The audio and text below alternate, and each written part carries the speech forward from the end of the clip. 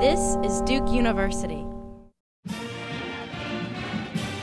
I felt like I was representing all the Duke employees who are football fans. So I was fortunate enough to be selected, but there are a lot of very hardcore, dedicated Duke football fans, and so I felt like I was representing them by going out on the field that day. The players themselves were terrific. Frankly, I wasn't sure how they were going to react to a 57 year old guy hanging out, and they could not have been nicer. A captain is a leader. Now, the, I was just the honorary captain, but did get to go out with the captains and do the uh, coin toss. Uh, it meant uh, practically that I got to watch the ball game from the sidelines, which is much more exciting than uh, up in the stands.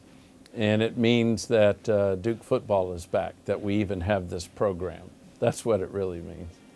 When Drew and I were out on the field, it was very cool because there was so much energy and excitement. And it was the employee, the Duke Employees Day. So uh, there were a lot of my colleagues, a lot of other uh, Duke staff out there, just a lot of energy and spirit. And of course, it was lovely that we won the game as well.